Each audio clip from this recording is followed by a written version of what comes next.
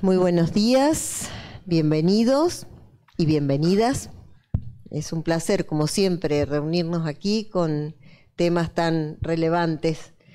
Y vaya si es un tema relevante el trabajar todo lo que tiene que ver con, investigación, trabajar todo lo que tiene que ver con ciencia y sobre todo eh, ciencia que, que llega a la sociedad. Y ustedes saben que como universidad hemos definido una línea estratégica muy fuerte que es trabajar investigación con impacto y que es trabajar, digamos, lograr que la ciencia llegue para resolver los problemas de la sociedad, para resolver distintas situaciones, para construir y lograr, sin lugar a dudas, una, aportes para una mejor calidad de vida.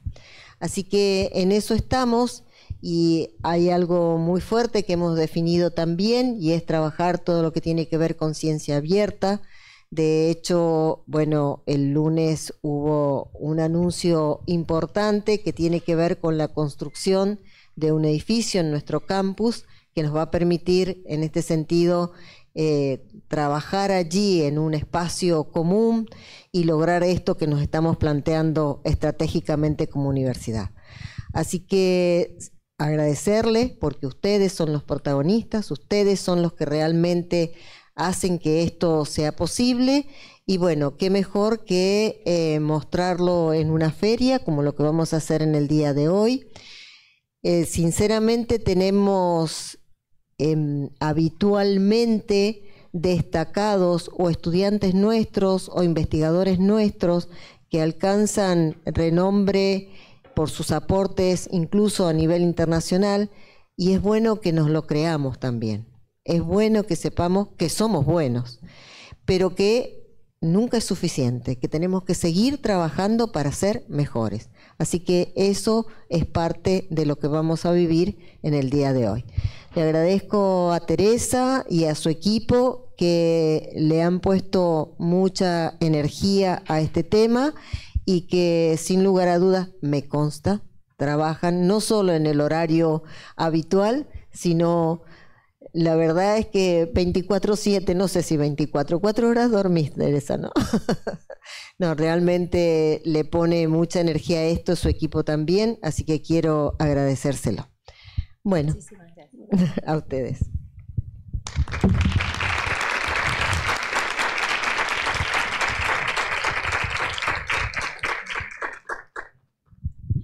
Bueno, muchísimas gracias. La verdad que gracias por estar acá. La idea es mostrar un poco lo que se hace de ciencia abierta desde la universidad, el compromiso que tiene la universidad con la ciencia abierta y también con la comunicación pública de la ciencia. Todos estamos convencidos en la gestión que la ciencia la hacemos para el otro, la hacemos para el bienestar de la comunidad, para el progreso de la comunidad. Entonces es importante que el, que sepamos salir de nuestra zona de confort, que son los laboratorios, que es el lugar donde nosotros investigamos, y tratar de mediar nuestro conocimiento para llegar al otro de una manera que el otro pueda compartir con nosotros los resultados de lo que estamos investigando. Básicamente, para que sepamos de qué estamos hablando, les eh, vamos a. Hay muchas definiciones de ciencia abierta, me siento eh, que no soy la persona más idónea en realidad para hablar de ciencia abierta, pero quien iba a hacerlo no, no pudo. Lo que sí les quiero contar es que básicamente la ciencia abierta es una forma de hacer ciencia, donde todos pueden contribuir, todos pueden colaborar, donde en realidad los datos que se van obteniendo son de son eh, puestos a disposición de otros investigadores, de otros educadores, para que a partir de eso se pueda seguir construyendo más conocimiento y ese conocimiento tenga realmente impacto. Eh, la importancia de la ciencia abierta la comprendieron universidades del mundo hace mucho tiempo. En realidad, en la década pasada, en Europa, la ciencia abierta fue un tema fundamental para todos los proyectos Erasmus de desarrollo de capacidades de universidades. Acá, por ejemplo, al final les he puesto el primer Erasmus, el más famoso, que se llama Foster, que era para facilitar el entrenamiento y el conocimiento en la ciencia abierta a los investigadores de las universidades participantes y tuvo una continuidad en el Foster Plus, que fue como una continuación de este primer de este primer proyecto. En realidad, si ustedes entran a las páginas web de esos programas Erasmus, está toda la documentación, hay manuales, hay manuales inclusive traducidos al español que muestran cómo uno puede apropiarse y utilizar las herramientas y las facilidades que da la ciencia abierta para mejorar la propia investigación y la educación en las universidades y en los colegios.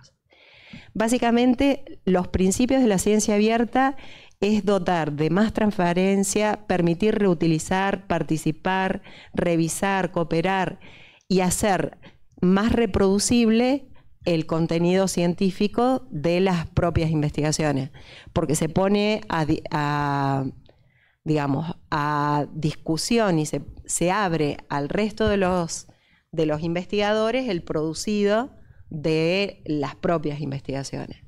En realidad, los principios, si ustedes van, hay muchos escritos, muchos tratados, la UNESCO ha tomado la ciencia abierta también como un eje fundamental y básicamente la inclusión, la imparcialidad, la equidad y la distribución o acceso al conocimiento son los principios fundamentales de qué manera la ciencia abierta o en dónde podemos ver prácticas de ciencia abierta. Esta semana fue una semana dedicada a la ciencia abierta que estuvo básicamente del lunes al jueves dedicada a el acceso abierto a la información, la generación de repositorios abiertos de datos primarios, pero la ciencia abierta es más que eso todavía. Es la generación de plataformas en las cuales pueden interactuar científicos para compartir y mejorar el conocimiento producido. Es también la revisión abierta de los trabajos, es eh, permitir eh, eh, compartir protocolos y metodología de forma tal de que los resultados puedan ser reproducidos, los resultados que un laboratorio obtiene puedan ser reproducidos por otros laboratorios.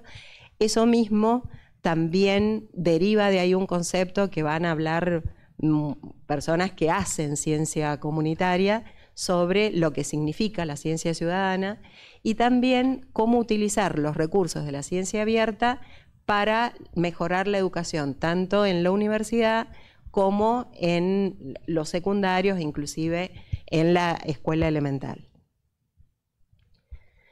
Acá ustedes tienen una definición de toda cómo han agrupado las distintas aplicaciones de la ciencia abierta y básicamente hay ciertos como principios. Este es, por ejemplo, el que se llama FAIR, de poder tener que los datos que uno comparte sean localizables, sean accesibles, sean interoperables y se puedan compartir.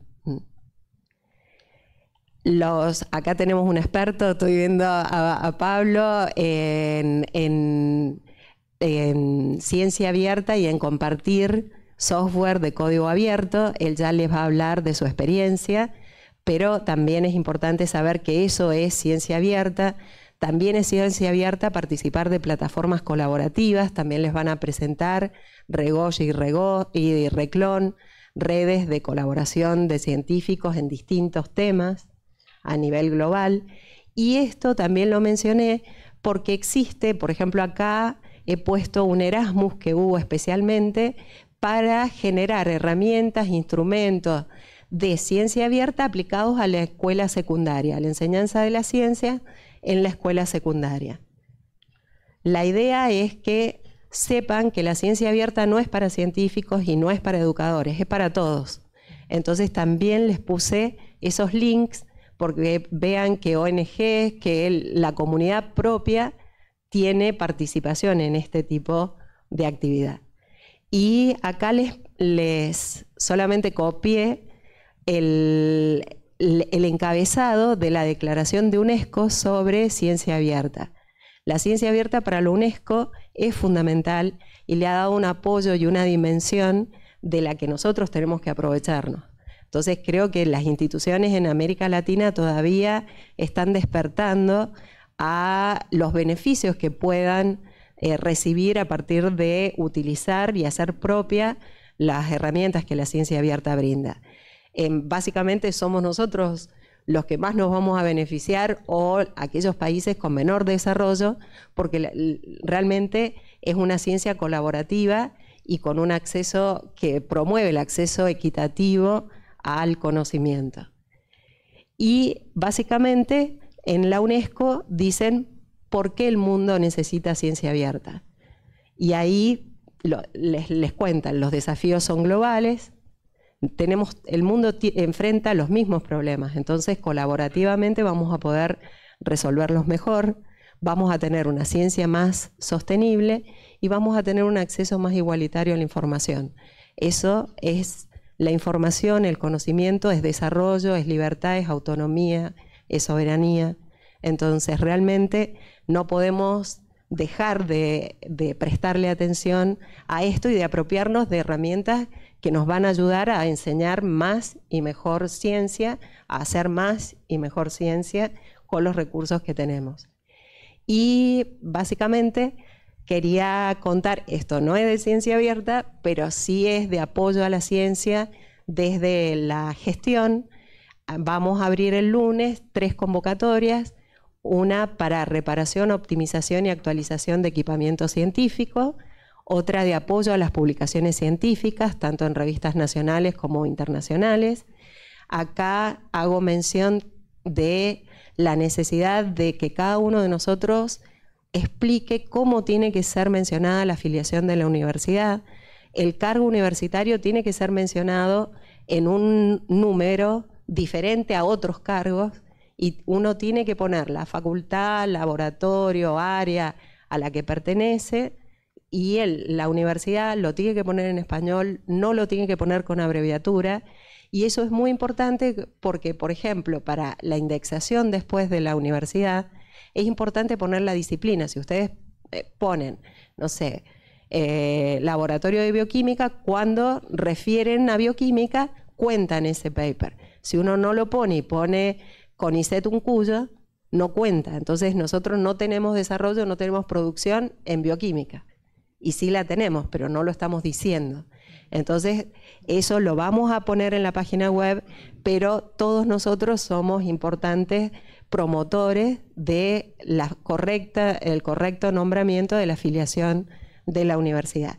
Y finalmente, una iniciativa para promover la comunicación pública de la ciencia, particularmente de la generación de material audiovisual para, para difundir conocimiento científico, desarrollos tecnológicos, resultados de proyectos de investigación que se hayan producido dentro de la universidad.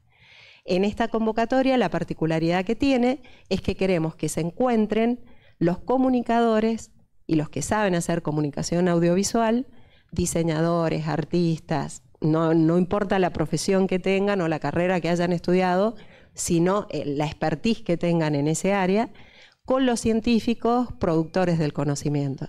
Entonces, como es necesario que el equipo esté integrado por ambos, por un grupo que sea heterogéneo en ese sentido, desde la Secretaría vamos a hacer, eh, vamos a ofrecer la posibilidad de que quien quiera eh, participar mande su mail, su nombre, su área de expertise y vamos a hacer listados de investigadores que buscan su partner en comunicadores y listados de comunicadores que se interesen en los temas que los investigadores quieren comunicar, de forma tal de que empecemos a generar espacios de encuentro para trabajar en forma más eh, concertada, que seguramente va a ser una forma que tenga más impacto.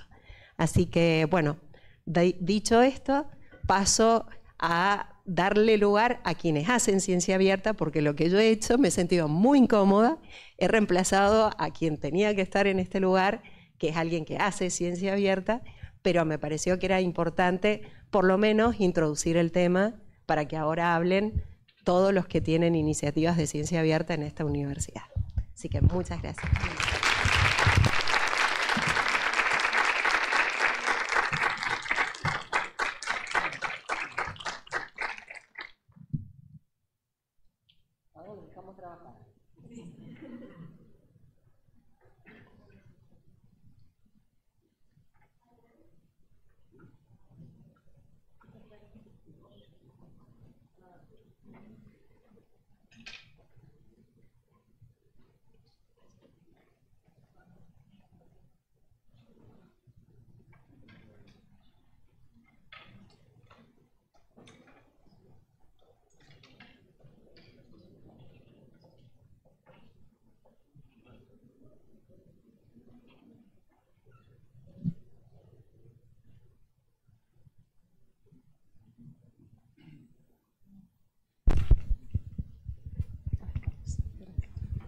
Bueno, muy buenos días. Eh, mi nombre es Antonella Isoglio. Eh, hoy tengo la alegría de poder compartir con ustedes eh, una presentación sobre el desarrollo tecnológico de la CIA, que es la computadora industrial abierta argentina. Eh, un desarrollo tecnológico que eh, he estudiado en mi tesis doctoral, que fue dirigida por la eh, doctora Fernanda Beigel, una profesora investigadora de esta casa de estudios que ha participado en la recomendación sobre ciencia abierta de la UNESCO, representando a Argentina en, ese, el, como en, en el comité asesor. Entonces, Hoy lo que voy a hacer es compartir con ustedes algunas notas sobre este, sobre este desarrollo eh, para eh, poder eh, compartir y, que podamos discutir, si quieren después al, terminar la presentación, sobre lo que ha sido este proyecto y, todos los beneficios que ha generado, digamos, a nivel productivo, educativo y social. ¿sí? Entonces, lo primero que quisiera decir es que el proyecto de la CIA eh, nació en el año 2013 eh, a raíz de eh, un proceso de vinculación que se venía generando desde el año 2010 aproximadamente entre la academia, la industria y el gobierno en torno a las tecnologías de los sistemas embebidos en ese proceso de vinculación eh, se planteó la necesidad de generar lo que es un controlador lógico programable, que en inglés se conoce como PLC, eh, por, la sigla, digamos, ¿no? Eh, que permite automatizar procesos productivos industriales y a su vez también se pensó para que esa tecnología pueda ser incorporada a la maquinaria de unidades productivas. Entonces, de esa manera lo que se buscaba era poder sustituir importaciones en la industria eh, generar eh, y aumentar el valor agregado y también fomentar la demanda de tecnología electrónica eh, que sea de origen nacional, de industria nacional. Entonces, en este sentido, los actores que fueron reuniéndose durante, durante este proceso que duró varios años, llegaron a la conclusión que la mejor manera de poder desarrollar este, eh, esta tecnología era a través de una forma organizativa que eh, quienes estudiamos sobre el tema la denominamos producción entre pares eh, o producción colaborativa y que básicamente lo que permite es una modalidad de colaboración abierta en la que diferentes actores, tanto entidades colectivas como sujetos individuales, puedan involucrarse en ese desarrollo y puedan participar y que a su vez la información de diseño que se obtenga de ese desarrollo experimental de esta tecnología pueda ser eh, compartida de forma abierta y pueda ser reutilizada en diferentes procesos productivos y también eh, con fines educativos. Entonces, eh, a partir de, esta decisión, eh, comenzó este proceso productivo de eh, la CIA, en el cual, bueno, se involucraron diferentes entidades que las podemos ver en la pantalla, eh, algunas entidades sin fines de lucro, como son eh, la Asociación Civil para la Investigación, la Promoción y el Desarrollo de Sistemas eh, Electrónicos Embebidos, la ACSE, que es una asociación que nucleó a docentes, investigadores sobre sistemas embebidos. También la Cámara Argentina de Industrias Electrónicas, Electromecánicas y Luminotécnicas, CADIEL, se involucró muy activamente en este proyecto. Y a partir de estas dos entidades sin fines de lucro se fue convocando de manera abierta, en una convocatoria pública, a que participaran diferentes actores. Entonces así también se involucraron el INTI, el Instituto Nacional de Tecnología Industrial, también muchas universidades públicas y muchas pymes, muchas pequeñas y medianas empresas nacionales. Eh, también, por supuesto, participaron desarrolladores eh, no titulados y eh, ingenieros que, trabajan en el área, que fueron de alguna manera participando, involucrándose en las plataformas de colaboración.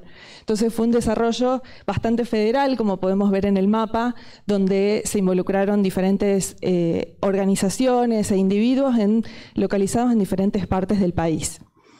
¿Y cómo lo hicieron? Bueno, lo hicieron a través de plataformas digitales en Internet, eh, con lo cual muchos de ellos quizás nunca se encontraron eh, de forma sincrónica, presencial, y sin embargo trabajaron mucho en conjunto para poder desarrollar eh, lo que fue la CIA. ¿no? Y esto significa que se ha desarrollado no solamente software y firmware de código abierto, sino que también fue hardware abierto. O sea, todo el sistema que se desarrolló tiene las características de ser abierto y esto permite que pueda ser reutilizado para diferentes fines, casi sin restricciones, que es lo que, lo que establece la licencia. Em, y nos gusta cuando contamos este proyecto comentar que fue como una matroshka de procesos productivos, decimos, porque en realidad la CIA, que comenzó siendo eh, un, modelo en particular que fue pensado para usos industriales, luego de alguna manera eh, el proyecto se, expandió y empezó a generar una serie de, podríamos decir, subproyectos o núcleos de desarrollo eh, a partir justamente de poder em, disminuir la dependencia eh, a, un fabricante en particular que proveía el microcontrolador, que era el único componente que era de origen importado dentro de esta computadora. Entonces, si bien el primer modelo fue la CIA en XP, Luego comenzaron los desarrollos de, estos diferentes modelos que les, eh, indico en la presentación, como es la CIA Admel, CIA FSL, CIA Intel, etcétera, que de alguna manera permitieron poder eh, generar alternativas frente al microcontrolador que se utilizaba y de esa manera no depender en particular de ningún fabricante eh, para poder construir esta computadora. A su vez también eh, a medida que los actores iban colaborando, iban participando en este eh, desarrollo experimental de tecnología abierta, lo que se planteó fue también generar diferentes versiones que pudieran ser más económicas y que de esa manera pudieran ser utilizadas eh, para fines de enseñanza y aprendizaje y que sean de una, eh, permitieran, digamos, mayor asequibilidad de estos artefactos una vez fabricados. Entonces, eso fue lo que permitió que eh, se generara el desarrollo de la EDUCIA, que es la que estamos viendo en pantalla. ¿sí? Yo aquí las que, les, las que les voy a mostrar, las fotografías que les muestro, son justamente aquellos modelos que llegaron a el, nivel de fabricación, tanto a nivel de prototipo en algunos casos como también en producción en serie eh, en otros casos. Entonces la EDUCIA es uno de esos modelos que no solamente fue diseñado de forma colaborativa, sino que además logró ser fabricado eh, y ser distribuido eh, a gran escala. Y a su vez también tenemos la CIA 0, que fue una CIA más pequeña, que podemos ver, ahí se, ven, ahí se ve la comparación, que fue utilizada eh, para eh, aplicaciones de bajo consumo y eh, en proyectos de robótica educativa. ¿Sí? Entonces, bueno, estas versiones fueron generadas justamente para uso educativo y hubo más desarrollos, en algunos casos otros que no llegaron al nivel de fabricación. Después, a su vez, a medida que el, proyecto fue avanzando, fue creciendo, más colaboradores se involucraron, bueno, se fueron generando también otras ideas para generar diferentes modelos para otros tipos de usos industriales, eh, como es el caso, por ejemplo, de aplicaciones de alto rendimiento computacional, ¿sí? como es la CIA-ACC, que es la que estamos viendo en la pantalla, y también eh, algunos desarrollos de, computación para seguridad crítica, como fue CIA Safety. Estos, por ejemplo, para que puedan eh, conocer una idea de, cómo el, uso em, se ha expandido y, ha generado diferentes beneficios, tanto para proyectos científicos como eh, para procesos productivos, lo que puedo mencionar, por ejemplo, es que actualmente la CIACC está siendo utilizada en uno de los aceleradores del CERN, que es la Organización eh, Europea para la Investigación Nuclear. ¿sí? Entonces, hasta allá incluso llegó la CIA en sus, usos y aplicaciones. Y em, después otro de los modelos que surgieron con diferentes usos industriales y educativos es, por ejemplo, el caso de la picosía, que es una, una placa muy pequeña y por eso ahí la comparamos con una moneda, como para que ustedes puedan eh, ver cómo es, eh, que fue, eh, sido, fue pensada para ser integrada a em, computadoras de, de, uso industrial y em, también a la derecha tenemos el caso del modelo más reciente dentro de este proyecto, que es la EDUCIA FPGA, eh, que fue generada con tecnología FPGA, que bueno, es una tecnología eh, bastante interesante, digamos, para quienes, para quienes están en el tema, y en este caso eh, fue pensada para uso educativo. ¿sí? Entonces, Bien, en, esta mm, base de datos que les comparto ahí el QR, si, lo quieren escanear y si quieren entrar, van a poder encontrar los diferentes modelos que se fueron desarrollando por este proyecto y van a poder eh, consultar cuáles son los enlaces a las plataformas donde se encuentra el código, donde se encuentran eh, los diagramas esquemáticos, donde se encuentra toda la información necesaria para poder eh, fabricar la, la CIA. ¿sí? Y por último, bueno, también comentarles que el proyecto eh, llegó a un momento en el que además involucró el desarrollo de placas de expansión que de alguna manera permiten ampliar la funcionalidad de la computadora. ¿sí? Entonces, a partir de los diferentes modelos que se, que se fueron desarrollando, estas placas permitían hacer aplicaciones específicas. A estas placas, eh, de, una manera muy, original, se les dio el nombre de ponchos, ¿sí? porque es como que se aplican sobre eh, la computadora y fueron desarrollados en diferentes colegios secundarios. ¿sí? Entonces, eh, los desarrollos de los ponchos que se encuentran disponibles en la wiki del proyecto CIA fueron de autoría de diferentes estudiantes secundarios del país.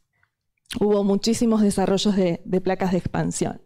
Entonces, bueno, ya para, finalizar la presentación, lo que quisiera comentarles es, retomando un poco lo que dijo eh, Teresa sobre eh, la importancia de que estos recursos de ciencia y tecnología abiertas eh, puedan de alguna manera mejorar la educación, las prácticas educativas, bueno, justamente el proyecto CIA en ese sentido es un proyecto que podemos decir que tuvo un impacto muy importante en el ámbito educativo, eh, ya que justamente está siendo hoy la CIA utilizada en la mayoría de las carreras de ingeniería electrónica del país.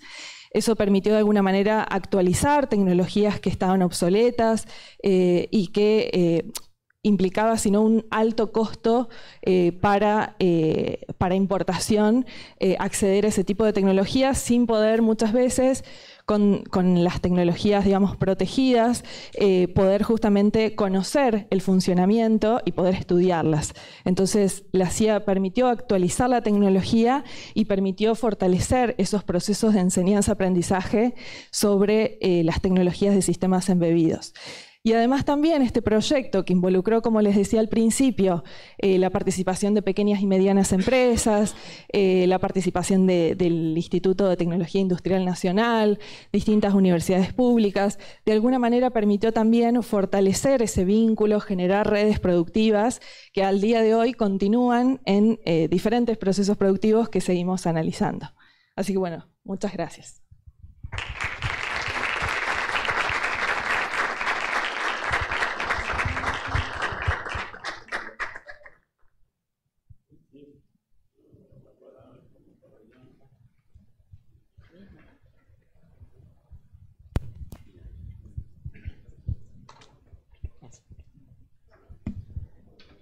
Buen día, yo soy Pablo Cremades, docente e investigador de la Facultad de Ciencias Exactas y Naturales. Primero quiero agradecer a Teresa por haber tenido esta iniciativa e invitarnos eh, para contarles un poquito de qué es lo que hacemos y por qué estamos hoy acá.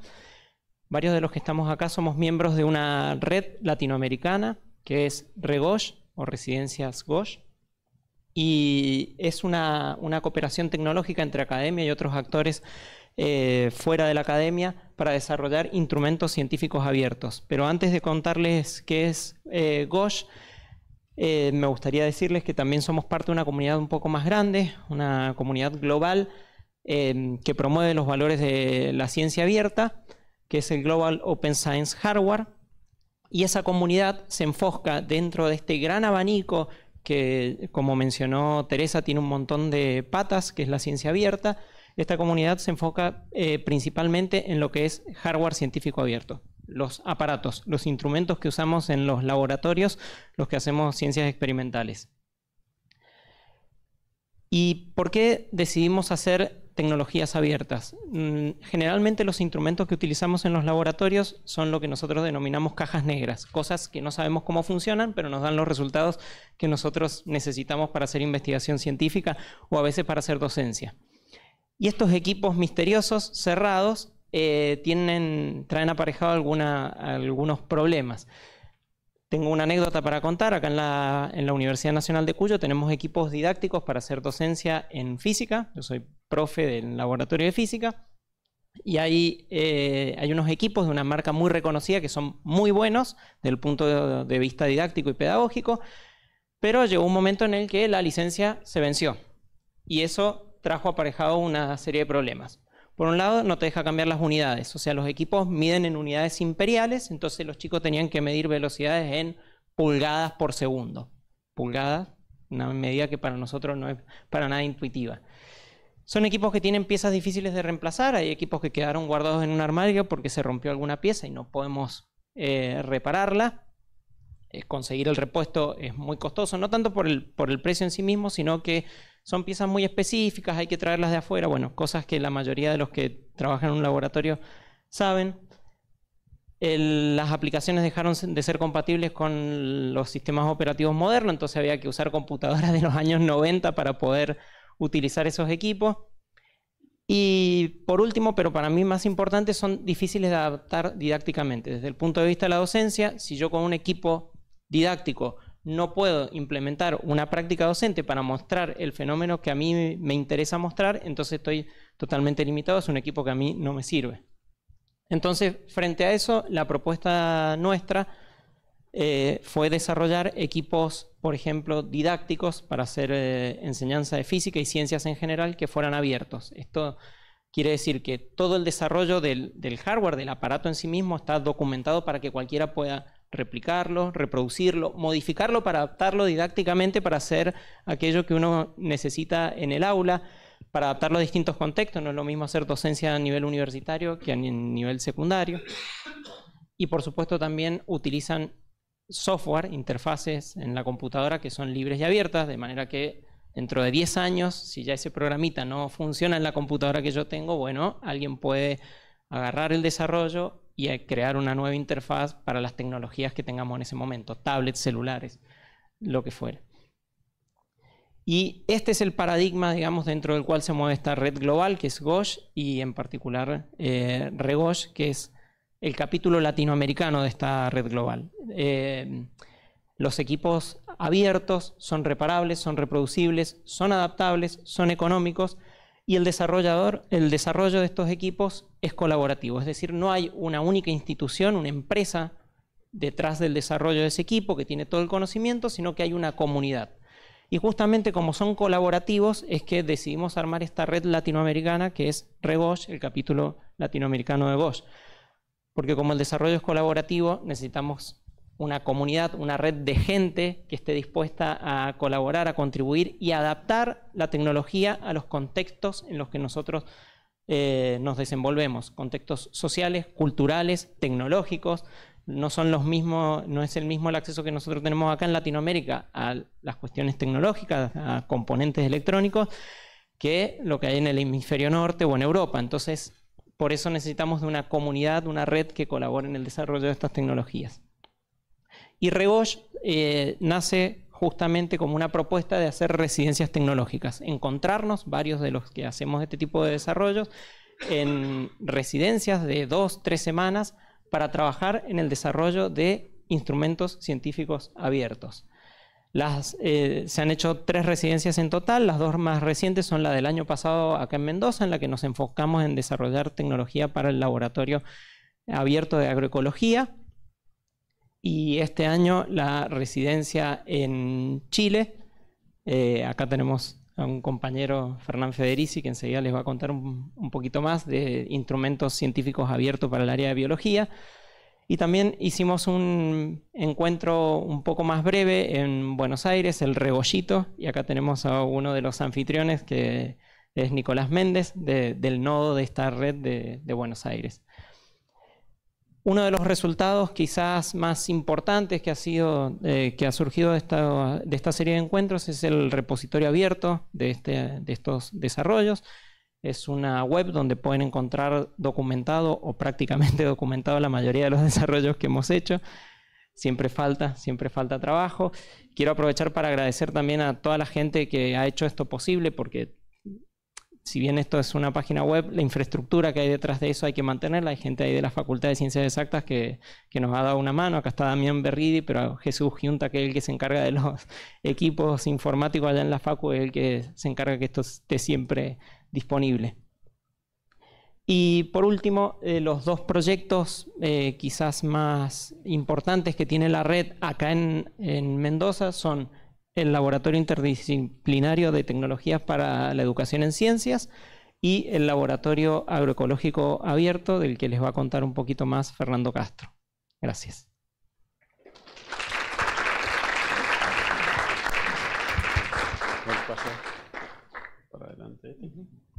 Hola. Uh. Buenas, ¿cómo les va?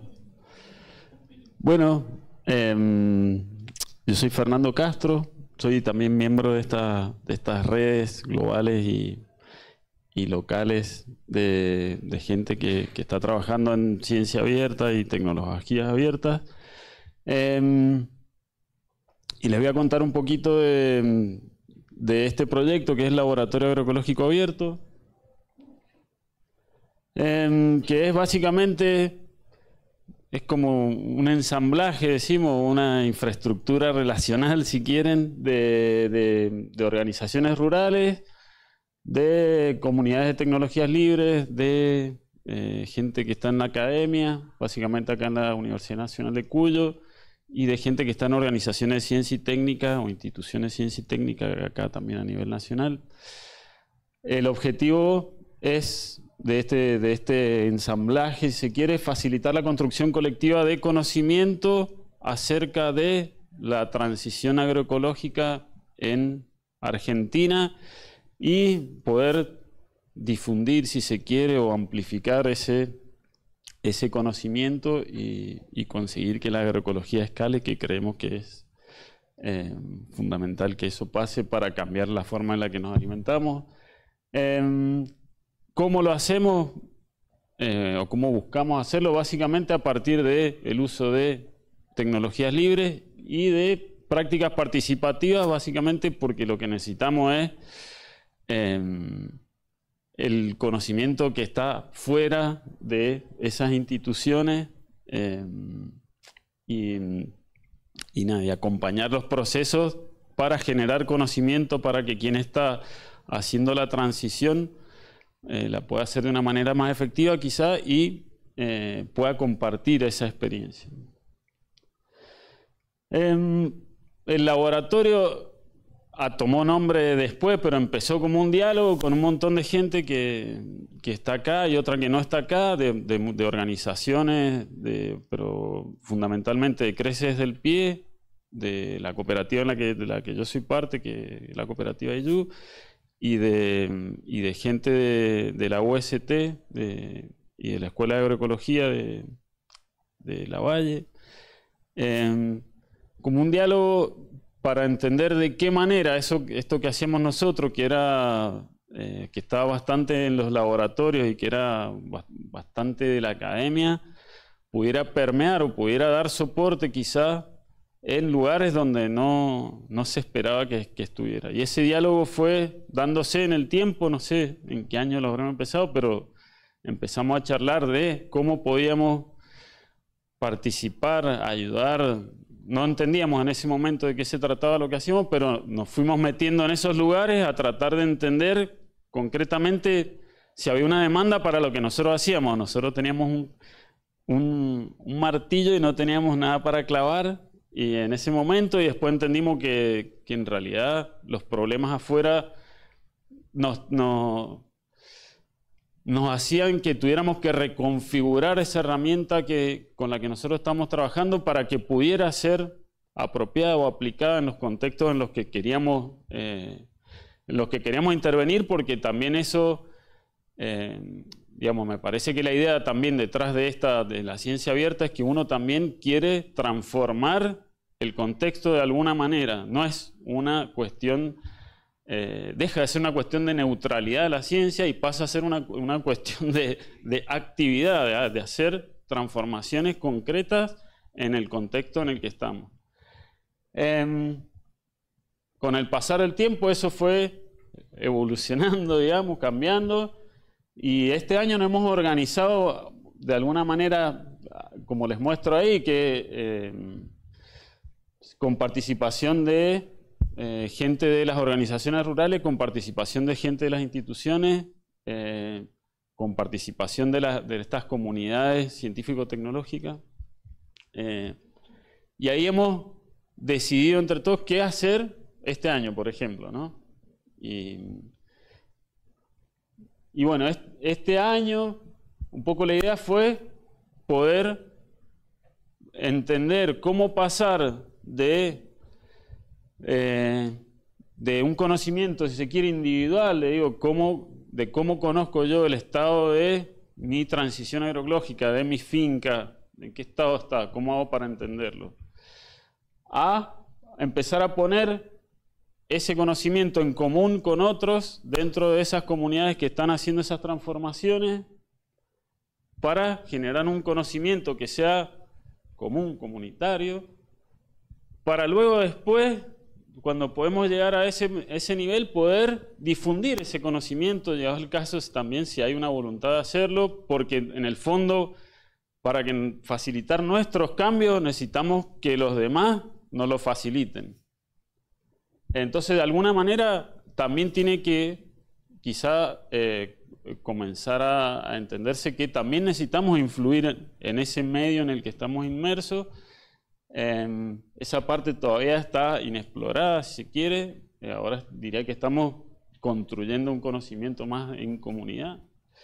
Em, y para eso lo que, lo que creemos es que podemos usar una infraestructura tecnológica común y abierta como la que estamos desarrollando.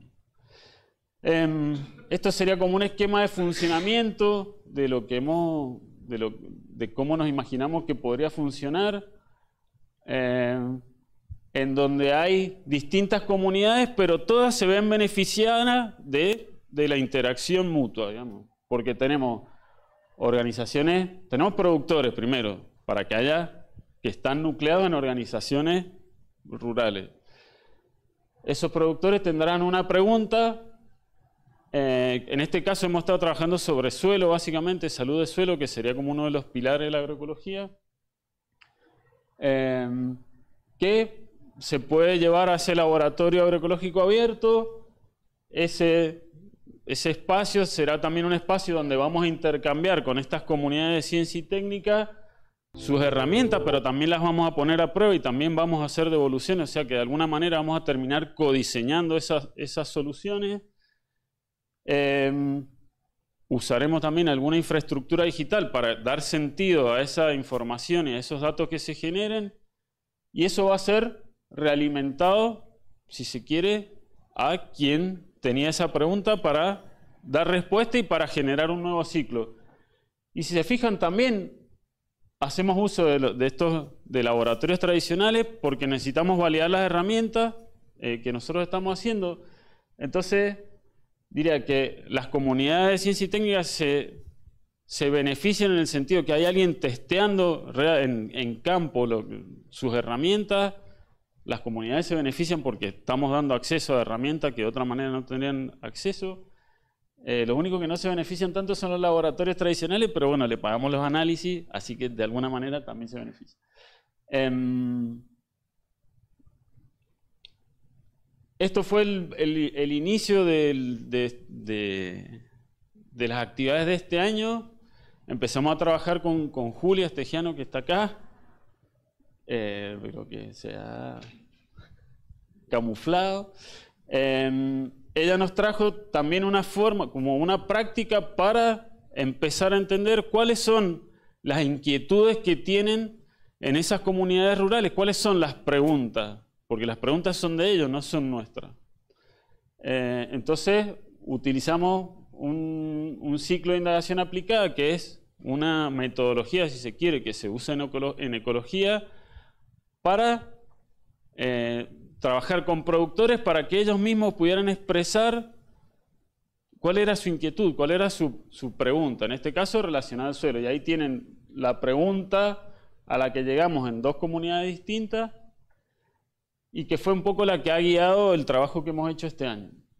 Una es cómo varía la relación carbono-nitrógeno eh, en suelos con enmienda y sin enmienda, con abono verde y sin abono verde, pero después terminó siendo con enmienda y, como, y sin enmienda. Eso sería como en, el Valle de Uco.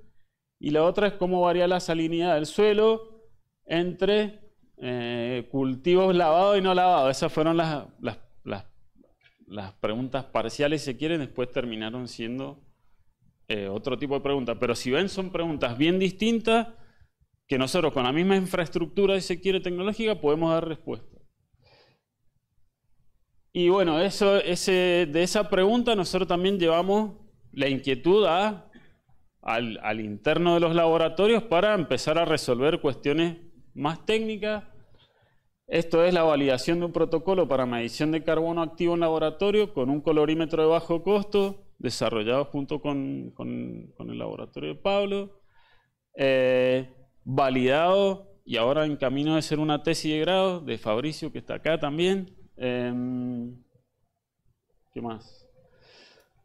Esta sería como una, una bifurcación de, ese, de lo que fue la cámara de respiración de suelo que Pablo estuvo llevando a, la escuela de agroecología, pero para hacer eh, análisis en laboratorio, eso es, también va a ser otra tesis de grado en la que está trabajando ahora Santiago, que también está acá, junto con Maxi, que también está acá.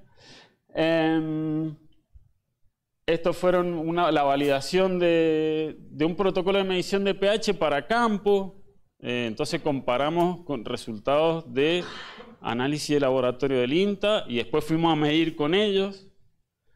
Eh, para simplificar, digamos, también la metodología, eh, y nos fue bastante bien.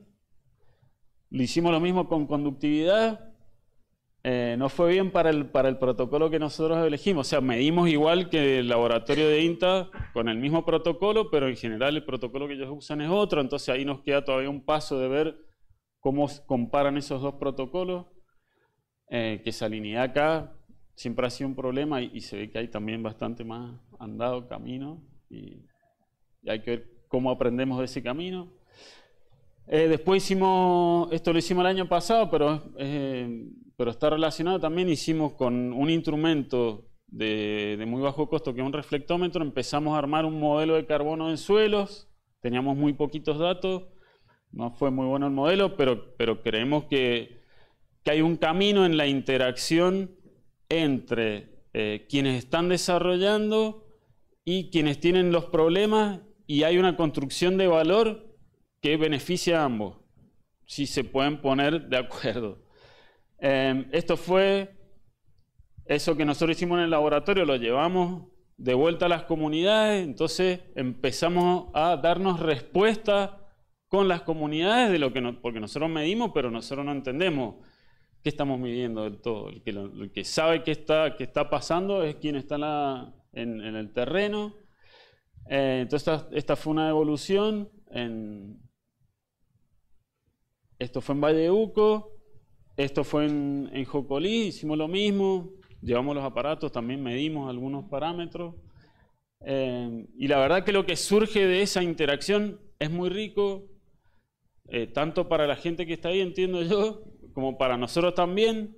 Eh, y bueno, acá Pablo también ha hecho una parte de, este, de este camino en paralelo, diría, Sí, como para cerrar esta charla, nosotros hemos encontrado la forma de articular eh, em, investigación, docencia y trabajo comunitario a través del programa de prácticas sociales educativas de la Subsecretaría de Articulación, si no me equivoco. En, en, el marco de ese, de ese programa hemos hecho desarrollo de tecnología con chicos de la Escuela de Agroecología de la OST en el, en el CEFIC, en Jocolí Valle. Entonces, eh, dimos talleres de electrónica para que ellos perdieran el miedo, digamos, a meter mano en este tipo de desarrollos. Y en, una primera propuesta armamos, replicamos la cámara de respiración de suelo y vimos con ellos cuáles podrían ser las posibles aplicaciones. Una de las alumnas de la escuela hoy está usando la cámara para ver qué es lo que ocurre en su finca con los manejos del suelo que ella está haciendo.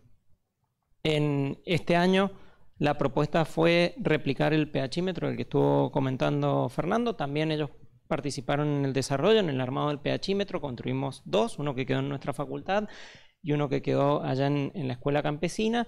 Y para el cierre de esta, de esta práctica social educativa de este año, nos juntamos en el laboratorio de la facultad con ellos y vimos, por ejemplo, si el instrumento era sensible a cambio de la temperatura. Porque una de las aplicaciones del pHímetro, para el que no lo sabe, un aparatito que mide acidez, ellos lo usan en la fábrica de conserva, conserva de tomate.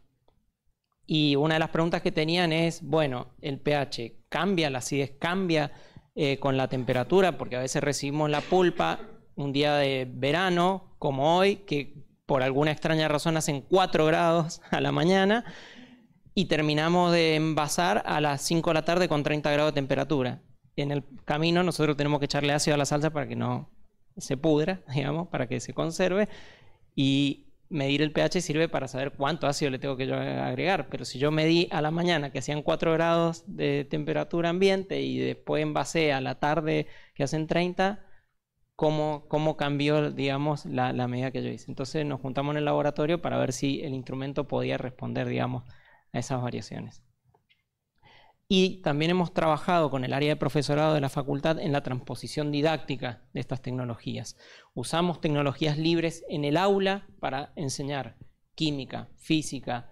Eh, esto, por ejemplo, es una práctica de biología en la que los chicos identificaban distintos tipos de almidones, de maíz, de arroz, utilizando uno de los microscopios que van a poder ver ahora en la feria, que es un microscopio de bajo costo, que lo pueden tener en el banco, ¿sí? que se puede llevar al campo. Bien. Em, esta quedó colgada, pero voy a ir a esta. Em, la actividad que estamos haciendo ahora con el laboratorio, estamos cerrando ese ciclo que, veníamos haciendo eh, y también abriendo un poco porque, porque estamos, digamos, el contexto nos dice o nos muestra que hay una fuerte digitalización de la agricultura y queremos ver si o qué rol pueden tener las tecnologías libres en esos procesos. Eh, y entonces hemos, eh, organizamos un ciclo de charlas con distintas eh, personas involucradas o con conocimiento en, esto, en estos procesos. En eso estamos ahora. Ahí los invito a que se sumen. Quedan dos charlas más. El 16 de noviembre va a hablar Morgan Meyer eh, el Open Source in Agriculture, algunas son en inglés, y él va a hablar de experiencias de utilización de tecnologías libres en agricultura, que no necesariamente son para hacer ciencia, sino que son a veces para hacer agricultura, o sea, son eh, implementos o, herramientas. Eh, y hay otra el 21 a las 4 de la tarde con Fernando Frank, también no, no sabemos el título todavía, pero estuvimos charlando un ratito con él. Eh, y nos va a contar en qué estado está este proceso de digitalización de la agricultura en Argentina o cómo lo ve él. Y los próximos pasos eh, nos queda terminar, digamos, de registrar, si se quiere, de pasar esto, esta información que hemos recabado este año a una, a una plataforma digital para entender si esa herramienta nos sirve, ayuda, está buena. Eh, y lo vamos a hacer con, también con software eh, libre, que, desarrollado por otro amigo que está en esta comunidad. Eh, tendremos que, organizar el último taller del año con, estas comunidades y, vamos a tener financiamiento por dos años porque no, nada, el laboratorio ha sido reconocido como una iniciativa de ciencia ciudadana eh, en Argentina, así que tenemos dos añitos más para poder eh, jugar con esto. Y eso. Gracias. ¿Quién sigue? ¿Fernán? ¿Fernán? ¿O no? ¿O quién sigue? Ah, Barromina, listo.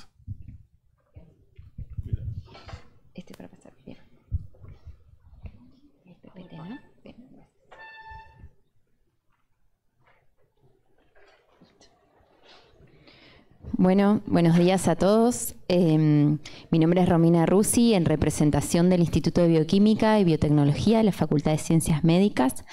Eh, les voy a contar mi experiencia en ciencia abierta a través de lo que de, de Reclon y cómo el instituto em, llegó a ser hub de Reclon. Bueno, se preguntarán qué es Reclon. Reclon es una red de colaboración de reactivos que está compuesta por investigadores de todo el mundo y que surgió para eh, un poco mitigar el problema que a veces tenemos los investigadores de la falta de reactivos, de acceso a reactivos o recursos para poder hacer eh, investigación. Particularmente esto se ve agravado en, África, Asia y América Latina. Y esto se, vio eh, enfatizado en la pandemia durante el COVID. Es por eso que surge en ese momento y hoy la premisa que tiene Reclon es brindar el acceso equitativo a los recursos biotecnológicos e intercambiar conocimiento con prácticas justas, abiertas y colaborativas. Para eso Reclon tiene tres misiones fundamentales. La primera misión es esto de eh, construir y desarrollar los hubs, que son los centros regionales de reactivos, para poder compartir fácilmente estas eh, eh, herramientas biotecnológicas que son colecciones de ADN para que investigadores más cercanos a esos hubs eh, puedan poder continuar sus líneas de investigación. La misión 2 es construir una comunidad global y distribuida de todos investigadores que quieran trabajar en este entorno colaborativo eh, para poder hacer un intercambio y, pensar en desarrollar prácticas para eh, fomentar una biotecnología eh, que, constituya a la, sustentabilidad del planeta y de todos los habitantes.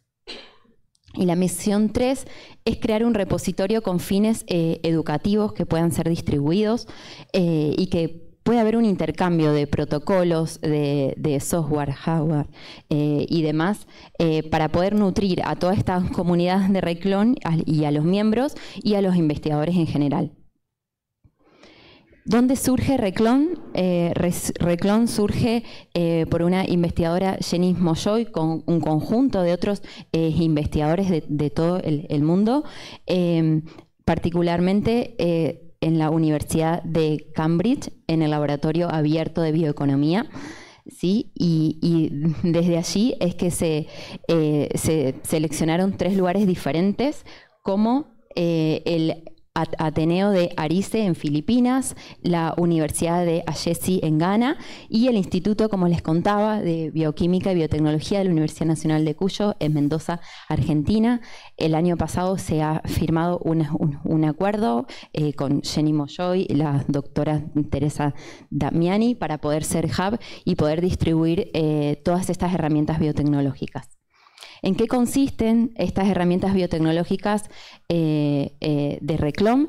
Son eh, colecciones de enzimas, diferentes enzimas que usamos en el laboratorio con diferentes aplicaciones, genes reporteros, que son genes que pueden dar fluorescencia o color y nos pueden estar indicando que estamos haciendo bien el trabajo. son colección de herramientas para diagnóstico.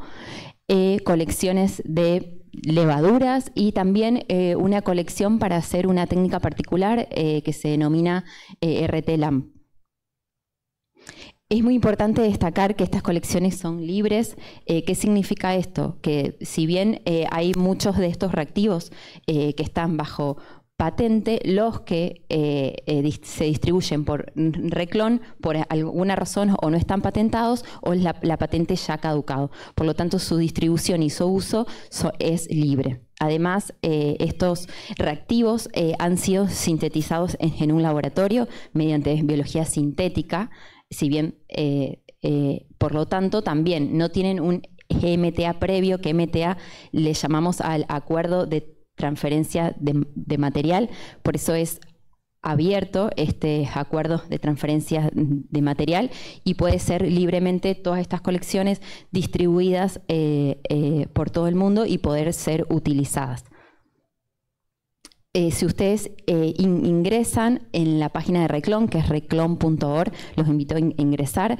Por ejemplo, cuando entran a una de las colecciones, pueden ver la descripción, qué es lo que tiene cada, cada colección, cuáles son esas herramientas biotecnológicas, eh, cuáles son eh, esos genes, eh, cuáles son personas involucradas que uno puede contactar y también obviamente va a estar disponible el, acuerdo de transferencia de material abierto unilateral que obviamente cuando uno acepta el, material tiene que aceptar este acuerdo. Acá solo para modo ilustrativo son sprint de pantalla, pero continúa la información.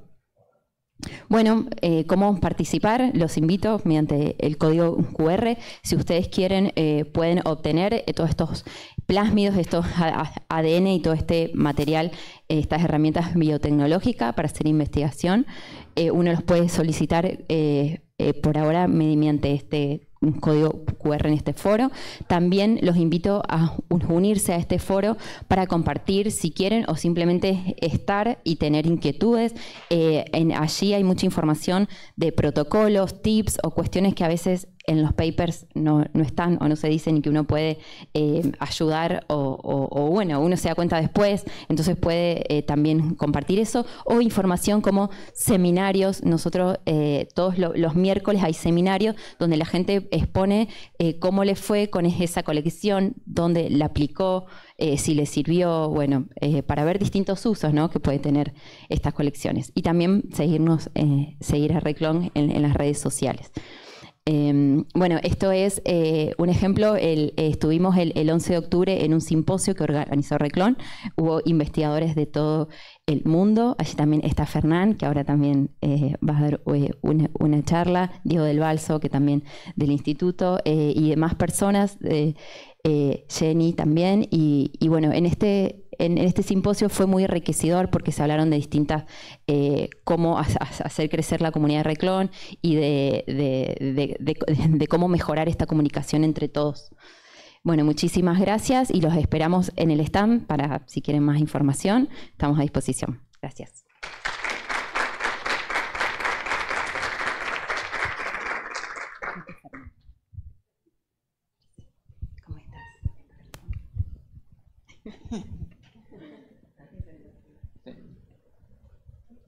Ahí está.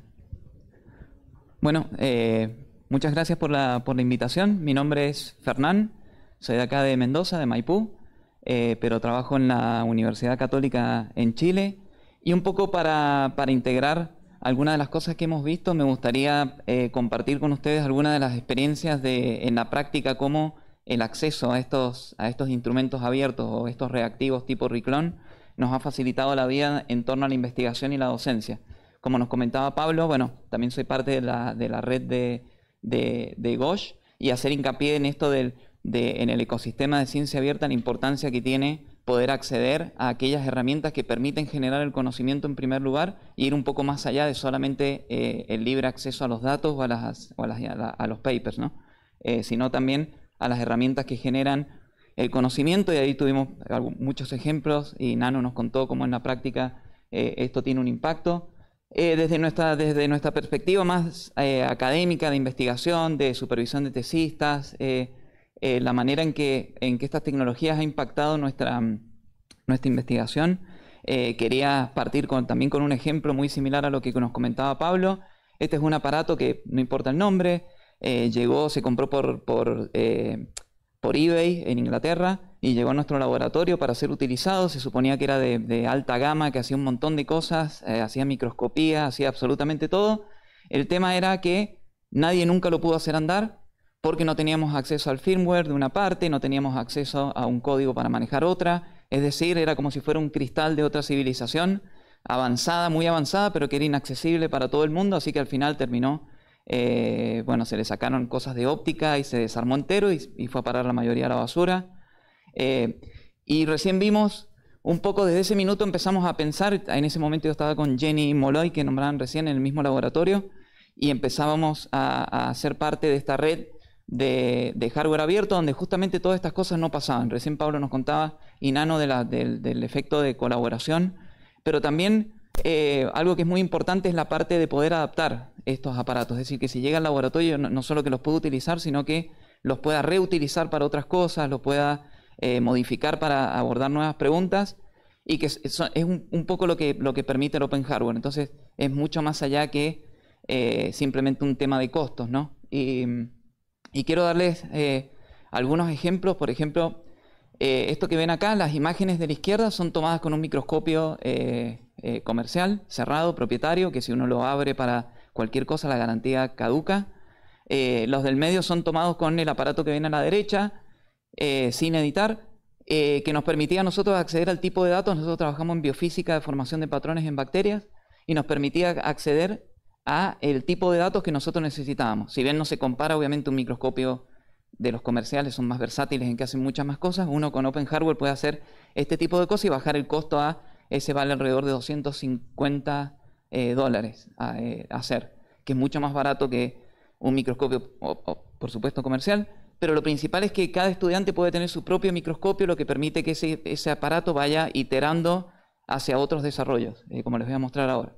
No solo que puede tomar imágenes, sino que después, por ejemplo, un estudiante, Tamara Matute, lo adaptó para hacer reacciones isotermales, para poder detectar patógenos le colocó un vidrio, se, eh, controló la temperatura. Otro estudiante lo está usando para optogenética, para inducir genes con luz. Eh, y bueno, diferentes desarrollos también se ha usado en, educación, pero lo principal de esto, más que el desarrollo que nosotros podemos hacer, en lo que quiero hacer hincapié es cómo eh, nosotros, formalmente formados en, biología y no en diseño industrial, ni ingeniería, ni en óptica, podemos desarrollar este aparato en corto tiempo. Bueno, lo podemos hacer porque hay una comunidad muy extensa de personas trabajando en Open Hardware que liberan este conocimiento y que permiten que alguien con poca experiencia, con poca expertise en este tipo de temas, pueda tomar diferentes de estos módulos y eh, fabricar un aparato como este que se llama Fluopi. Eh, y quiero recalcar una en especial, esta que está acá, es una empresa.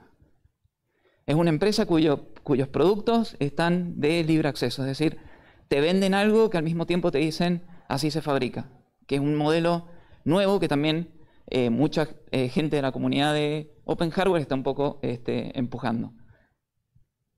Entonces, hacer hincapié que esto no es más que una copia, una transformación y un remix, como dice eh, Kirby Ferguson en un, en un documental muy famoso que se llama Todo es un remix, que lo recomiendo mucho, está más inspirado por el, por el área de la música y la industria creativa, pero que dice un montón respecto al tema de las ideas y cómo las ideas son procesos emergentes de comunidades y no son cosas eh, que surgen en la mente de una sola persona encerrada por ahí, como muchas de nuestras instituciones piensan que pasa, ¿no? Por lo menos en la mía eh, y en otras, donde te dicen si tienes una idea, protégela, no le cuentes a nadie, eh, tesis en embargo, si das presentación, esta parte no te la puedo mostrar porque la voy a proteger, todo lo opuesto a cómo funciona este, la formación de ideas y un poco que este, en el tema de Open Hardware está un poco más transparentado, ¿no? más explícito este, esta, esta, dinámica. Eh, algunas de las cosas que se han hecho al, ser de, hardware abierto, que por ejemplo profes de colegio puedan utilizar eh, este aparato y lo puedan desarrollar para, eh, para colegios secundarios, espacios makers, gente que, lo, que toma el, desarrollo y lo adapta a nuevas preguntas, esto en Canadá. Entonces lo que permite es que estos productos puedan ser eh, en realidad más que una, fase final, uno lo reconozca como un continuo. Son iteraciones de un, continuo donde cada una de esas iteraciones a lo mejor aterriza en un problema este, en específico y aborda una necesidad particular. Eh, podría mostrarle más ejemplos, esto para, eh, lo hicimos con Nano y más gente, a partir de código que estaba disponible, nosotros adaptamos estos códigos para poder, un código en particular que se llama OpenSCAD, para poder hacer microscopios de, fácil manipulación para gente que trabajaba en procesos de fermentativos, para poder analizar viabilidad celular, por ejemplo, en cremas de, cremas de fermentación, eso está hecho con cámaras web. Eh, y, muchos otros proyectos, pero lo principal que quiero mostrar es que como eh, un proyecto en particular bajo la necesidad de, por ejemplo, hacer microscopía de fluorescencia, el mismo código se puede adaptar para hacer esa parte óptica y el aparato para que ahora haga fluorescencia y ver eh, núcleos fluorescentes en una planta que se llama Marcantia, o en, una, en el contexto de una, una bienal de artes mediales donde la gente tiene que interactuar con el aparato y tiene que ser de, de fácil acceso, eh, o gente que trabaja con esporas de hongos, eh, colegios de nuevo, y cómo todos estos aparatos no dejan de ser de nuevo una iteración de un continuo que va mutando y se va enriqueciendo de las contribuciones de diferentes personas. La mayoría de estos proyectos están en plataformas tipo Git.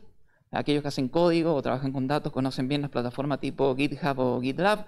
Em, que es muy importante porque también dejan mapeadas las contribuciones individuales estas misiones como colectivas, que no es menor en estas, en estas eh, digamos, en estos desafíos colectivos que tenemos, sobre todo en estos tiempos de, que llaman a una eh, interdisciplina y colaboración transversal y papá, pa, no deja de ser importante la contribución eh, individual de las personas porque es lo, con lo que uno chapea, ¿no? Y, un poco tiene que al fin de año dar cuentas en reportes y, tener ese tipo de control eh, es importante. esto también va a otros niveles. Este proyecto de, digo, esto, de colaborar. Este es un ejemplo de gente que estaba desarrollando aparatos para hacer estas reacciones isotermales para detección de patógenos. Eh, uno de ellos estaba hecho en Chile, el otro está hecho en, Suiza y el otro está hecho en Francia.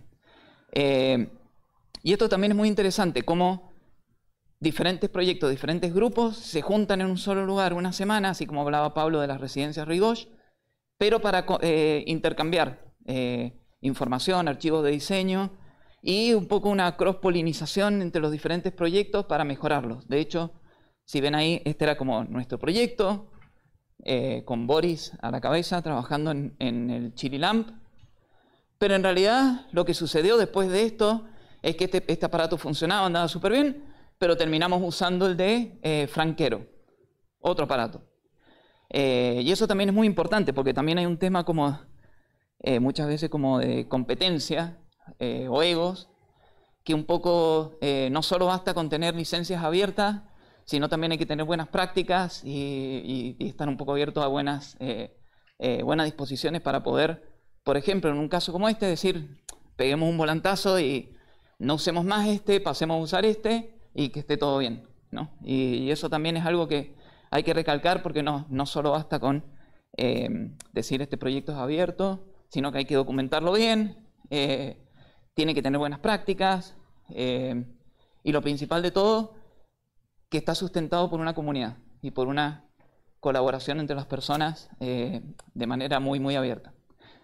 Ahora, cambiando a un poco a lo que nos contaba Romina de, de la iniciativa Riclón, nuestro laboratorio estuvo involucrado en, un poco setear la especificación de diseño de cómo clonar estas partes, estas colecciones que vienen como eh, en una placa, genes que uno puede llevar al laboratorio, producir las proteínas, purificarlas y usarlas, no sé, en un, por ejemplo, en un PCR como la famosa PCR.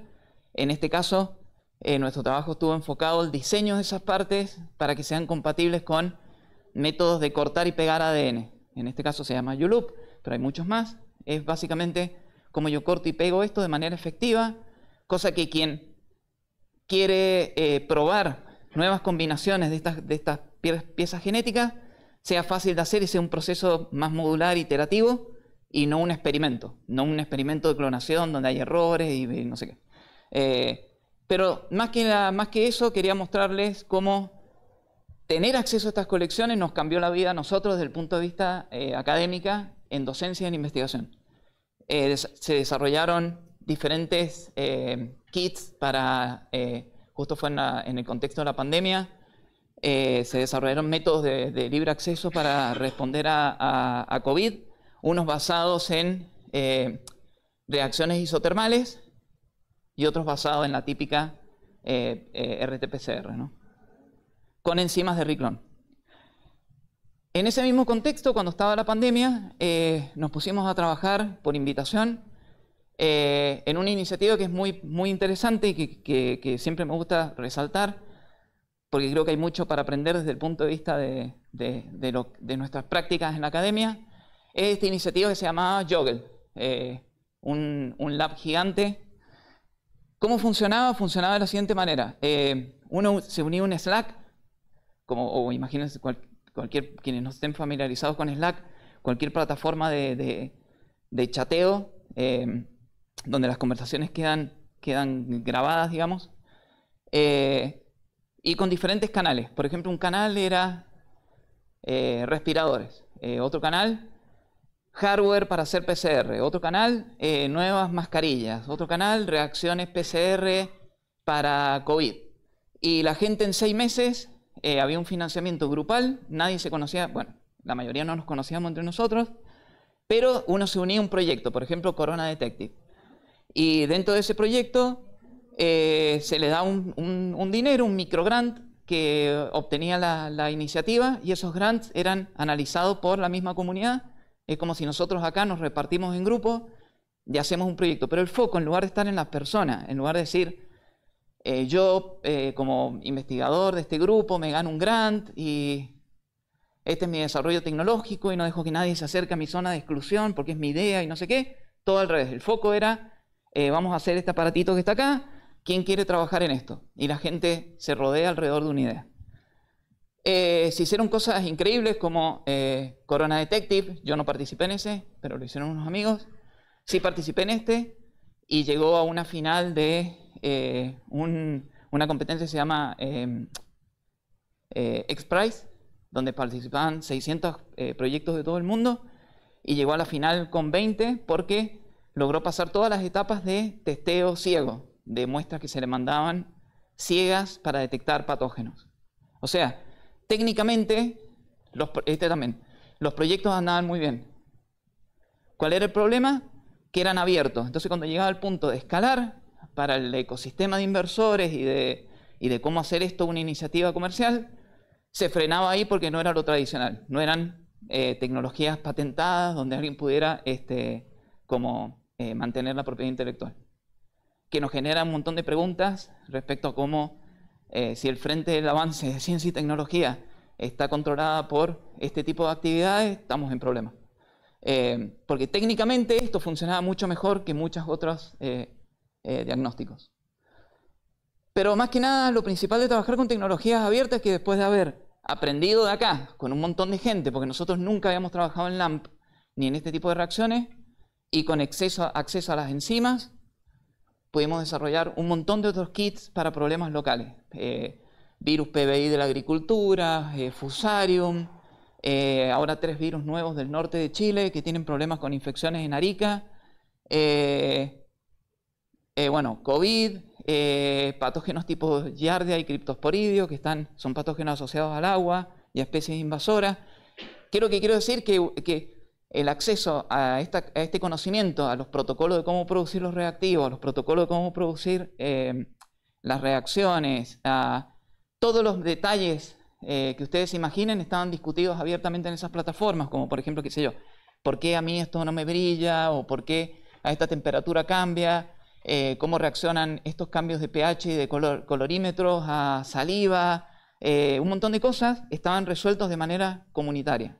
Todo, absolutamente todo. Salía una nueva variante de COVID, inmediatamente estaban todos eh, los atajos para poder detectar esas variantes, etc. Y, que genera, genera que en pocos meses un grupo de investigación que no trabajaba en este tema rápidamente puede empezar a resolver problemas locales con toda esta tecnología. Y lo último para cerrar, obviamente en educación ha tenido un impacto muy grande. Eh, qué sé yo, por ejemplo, el colorímetro de Pablo y Nano eh, lo estamos usando para hacer cinética enzimática en, el laboratorio. Eh, esto fue en, agrarias hace ya como cinco años, ¿sí?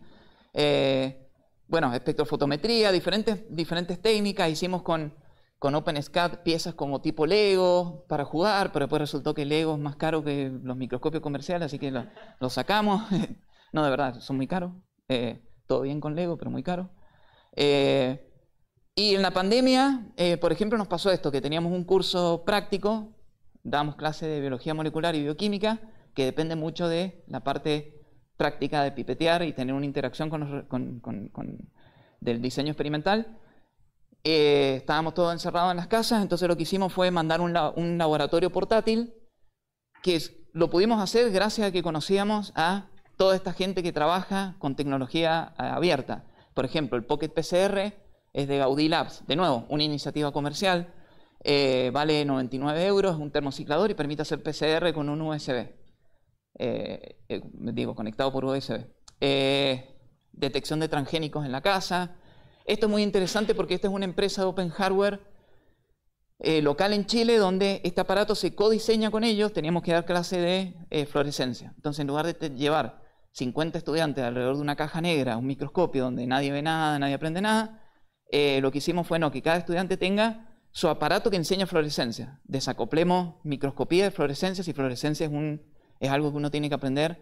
En biología molecular se usan más de no sé cuántas técnicas usan fluorescencia, no solo microscopía.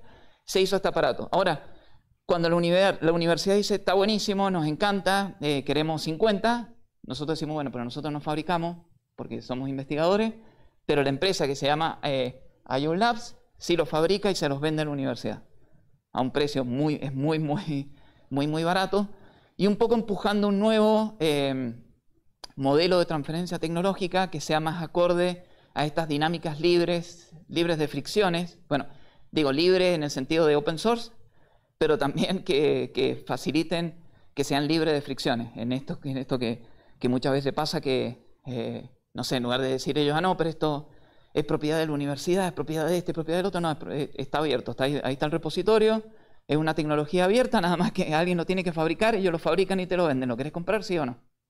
Y lo compran. Eh, bueno, y otras cosas que hicimos también con, con Riclón, por ejemplo, enseñar cómo purificar, cómo purificar estas enzimas, porque algo muy importante es generar capacidades para, para poder este, eh, tener eh, toda una comunidad que trabaje con estas enzimas, no solo en el contexto académico, sino que, eh, no sé, por ejemplo, eh, lo veíamos con el laboratorio agroecológico, si alguien quiere detectar, por ejemplo, ver inocuidad de alimentos y quiere detectar, detectar salmonella, coli, también se podrían desarrollar estas enzimas y hay que enseñar purificación, entonces, bueno, también hay unos kits de purificación abiertos para enseñar este tipo de, de desarrollos. Y un poco quería terminar con esto de, la idea de free como libertad y no como gratis y que se puede eh, pensar en un futuro de eh, comercialización de productos abiertos. Y esto lo digo porque creo que desde las universidades es muy importante volver a eh, reconsiderar cómo vamos a articular el relato de innovación y esto que decíamos recién, de protege tu idea, no le cuente a nadie, el próximo Facebook y no sé qué, con, eh, con esta idea de ciencia abierta, donde todos tienen, tienen acceso. Yo creo que acá también debe pasar, pasa en todos lados, de ver esto, ¿no? Tesis en embargo, charlas donde no te cuentan lo que se hace, eh, un poco secretismo y prácticas muy dañinas para eh, la, naturaleza, digo, para la, para la dinámica natural de, de, generación de conocimiento, que es la colaboración y que son estos procesos emergentes. Eh, entonces, si pensamos que hay empresas que venden eh, productos abiertos, tratar de explorar y fomentar más eso de manera local, como esta empresa chiquita que yo les contaba en Chile, IO Labs, para empezar a, bueno, hay ejemplos en Argentina, como Texas y en, la UNSAM, eh, para empezar a tener una un nuevo modelo de transferencia de tecnología basada en tecnología abierta, como les comentaba recién, y que a lo mejor estos aparatos para hacer PCR se puedan fabricar en Argentina, eh, o, desarrollar aparatos nuevos que responden a necesidades docentes eh, locales y que un poco no es más que eh, la idea de esta gráfica de Dominique, de que la ciencia es un proceso colectivo, la generación de tecnología también, y que la transferencia tecnológica debería contar con herramientas legales y, e incentivos que también un poco reivindiquen este tipo de, dinámica. Muchas gracias por su tiempo.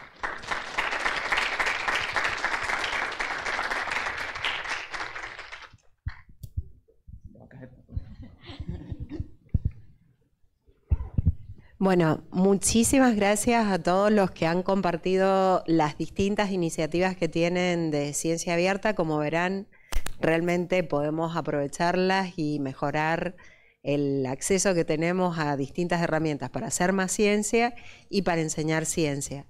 Así que ahora los invito a que vayamos a la feria. Ahí quiero agradecer la colaboración de otros grupos que no hacen ciencia abierta, pero que ahora en realidad no lo llaman a lo mejor ciencia abierta, pero podrían tratar de eh, a lo mejor acoplarse a este tipo de actividades que han traído sus desarrollos desde la Facultad de Ingeniería. La verdad que nos ha ayudado la Facultad de Ingeniería, la Facultad de Ciencias Políticas y Sociales, la Facultad de Ciencias Exactas y Naturales, que es junto con la Facultad de Ciencias Agrarias, quienes lideran la ciencia abierta en cuanto a hardware y software acá en la universidad, la Facultad de Filosofía y Letras y la Facultad de Ciencias Médicas. Así que como verán, básicamente la mayoría de las unidades académicas de alguna forma han estado participando y apoyando eh, esta iniciativa de promover la ciencia abierta en la institución. Así que vamos ahora a disfrutar los, los desarrollos.